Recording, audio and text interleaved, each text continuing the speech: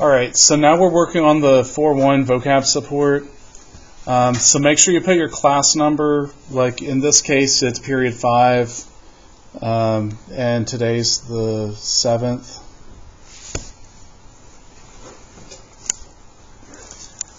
Um, so this is your vocab support page related to uh, congruent figures. So it says choose the concept from the list above, and here you're given segments that are congruent, uh, which is this one. Well, um, it's a congruency statement because um, the the congruent symbol. So this is number one. Congruency statement. If you want to put the numbers up here also you can, but I'm mainly doing that if you need to know how to spell it.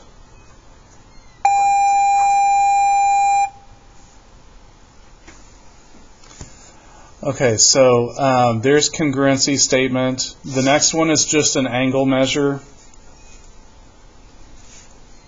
It's telling you it's 45 degrees.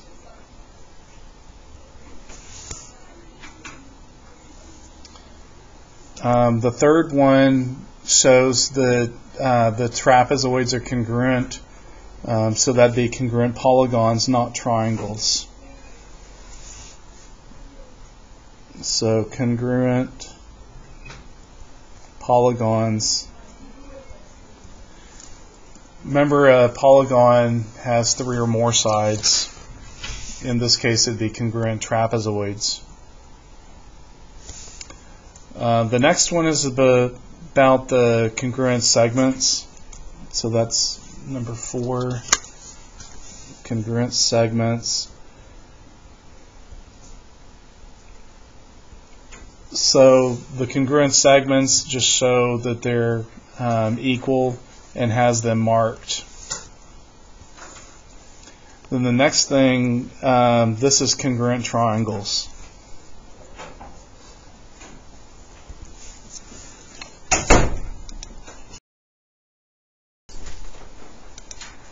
Okay, so congruent triangles.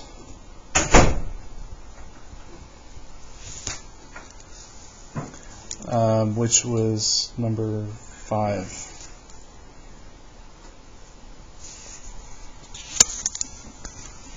Any questions about those? Then this one gives you a given and a proof statement.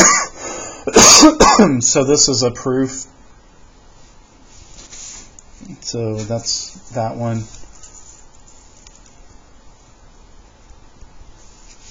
Proof. And this one, they're showing you that what the angle expressions are and setting them equal and solving. Uh, so that'd be the algebraic equation. So that's number seven.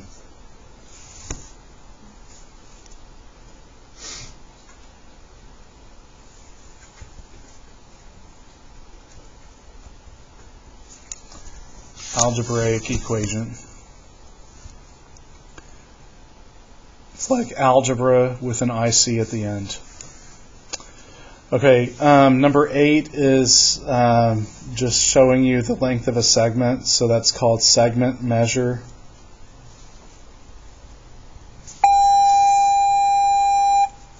So that's number eight, which makes congruent angles number nine. Showing you their vertical angles, so you have congruent angles.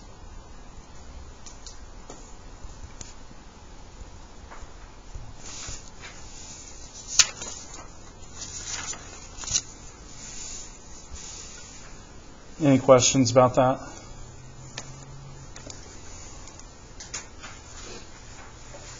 All right. So there's your vocabulary parts.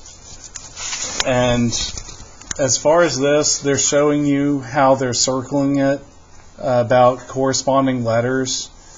Uh, the A and Q relate to each other for the angles. And then for the sides, they're showing you BC corresponds to RS. So they circle two letters. Um, so identify the three remaining um, pairs. So they've already done A and Q, right? So we need B and R.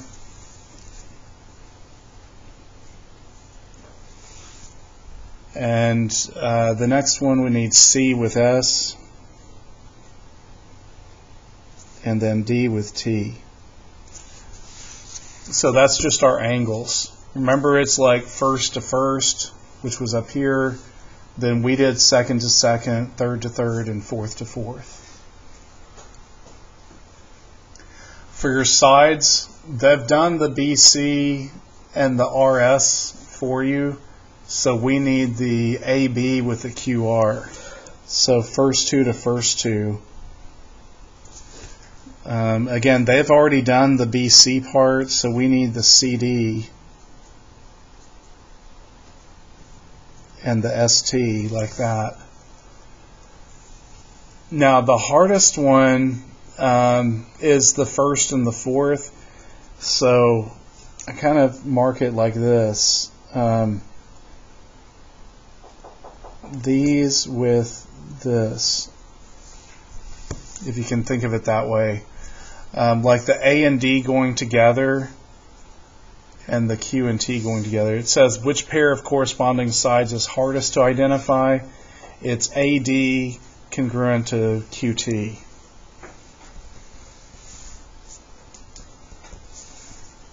And I need my symbol above it. So that's the one that looks weird.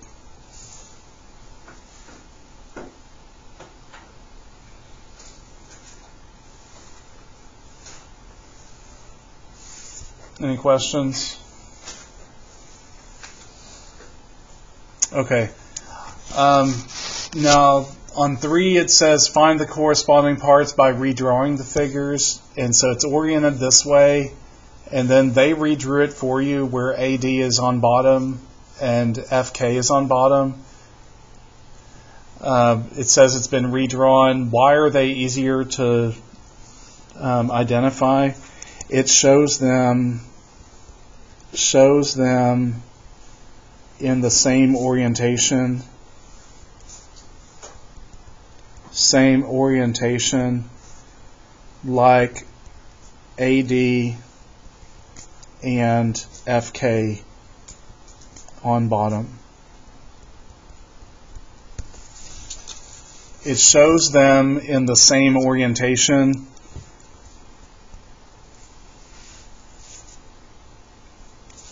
like AD and FK both on bottom, the short parts, BC and GH on top, and so forth, but I'm not going to write all that.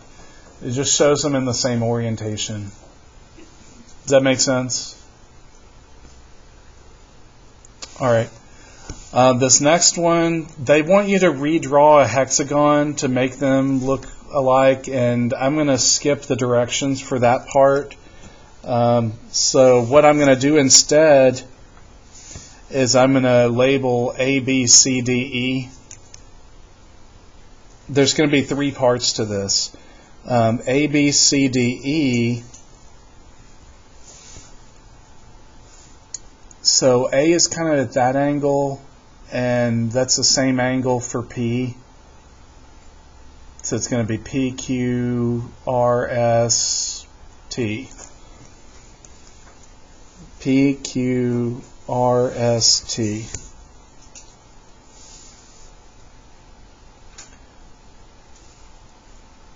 So the P corresponds to the A and so forth. In fact, that's what we're going to do next. Um, so for number two, um, we're going to say angle A equal angle P um, because those are equal. We're going to say B equals Q. Both of those are obtuse. And C and R, both of those are obtuse. And um, D and S match up. And um, E and T match up. Right. So why this is like a longer problem is because it's a five-sided figure, so that means you have to have five sets of angles. If it were just a triangle, you'd only have three sets of angles. But you need all five. Yeah. The main thing is it says all. Now, I like to do the angles first because they're only a single letter, um, but now we have to do sides. So this is the third part. Uh, so I'm going to use my first two letters, AB, equal to PQ. And then BC are my next two letters. So that's QR. And then CD to RS. DE with ST,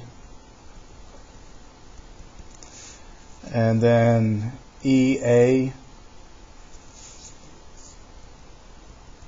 and TP. So again, five sets of sides. Um, and on MathXL, it's going to be check boxes where you choose which ones.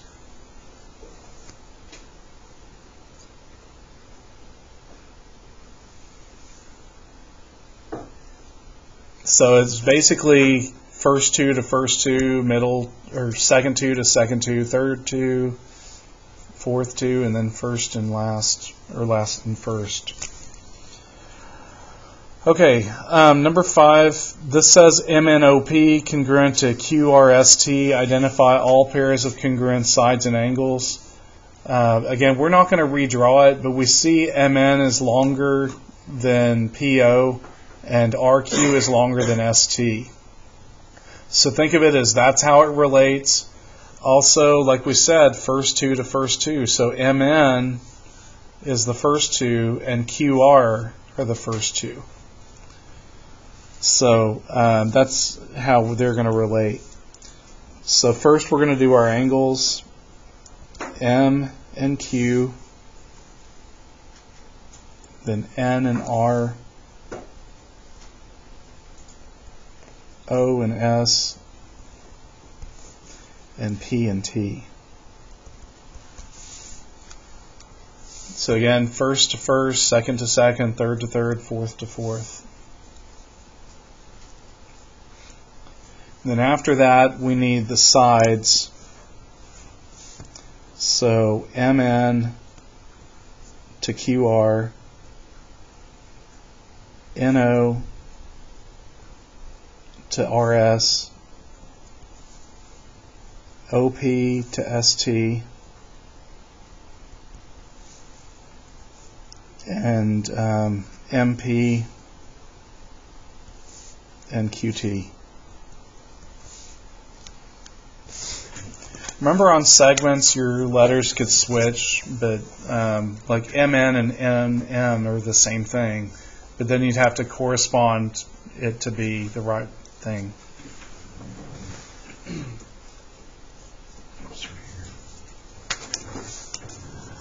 Okay, the next part for the reteaching.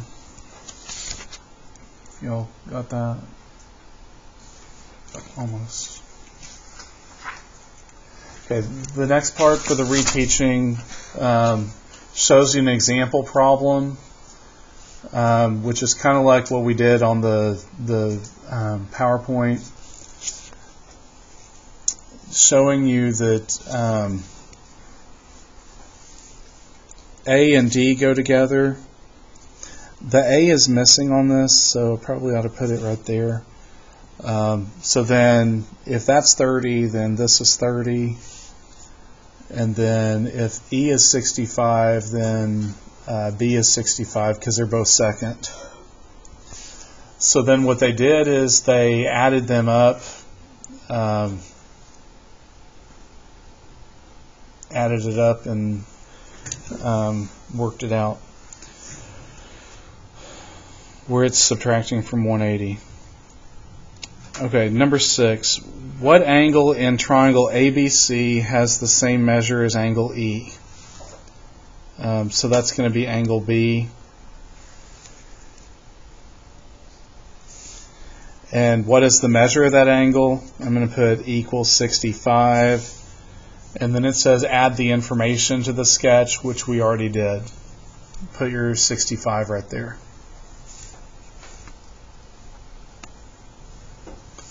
Um, then it says you know the measures of two angles. How do you find the third one?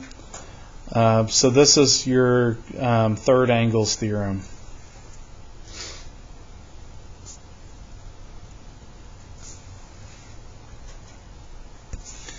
And basically, if the 65s are in both and the 30s are in both, then whatever C is is going to be the same as F. So it's going to be third angles theorem. Um, and then we're going to say 65 plus 30 is 95, and 180 minus 95 is 85.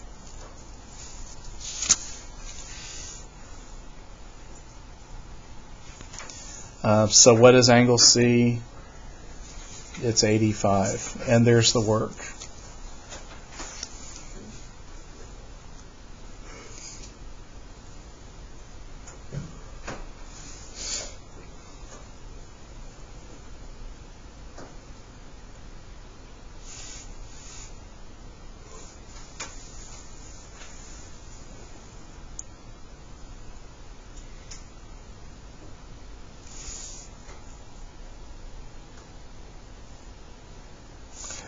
So the third angles theorem um, shows you that C would be equal to F.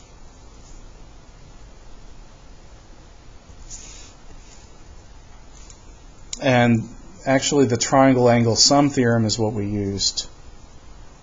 Triangle angle sum theorem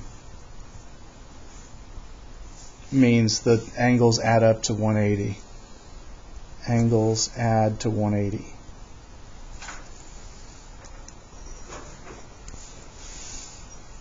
So that's what we actually did. 65 plus 30 gives you 95, and then 180 minus 95 is 85.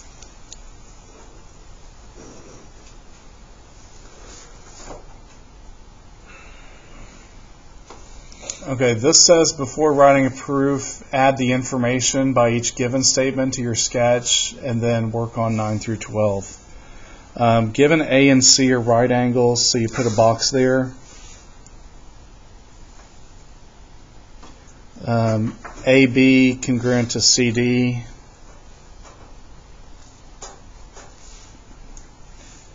And AD congruent to CB we're also given um, ADB is congruent to CBD. So make sure your drawing um, is updated for those. The horizontal ones are equal, the vertical lines are equal, and the boxes, and then this angle to that angle. Um, so it's asking how you can conclude that this angle is equal to this angle. That's from the third angles theorem. Yes, third angles theorem.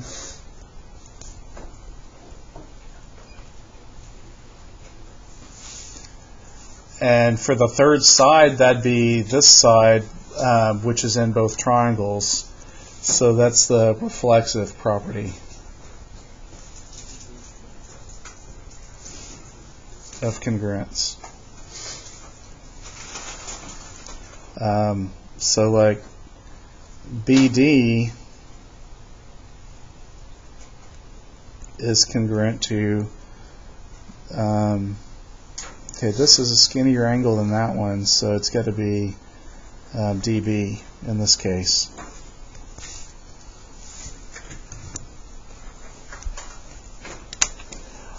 All right, um, that's going to be our stopping point for the day. Um, we have a little more to do on the practice. so uh, we'll do this tomorrow.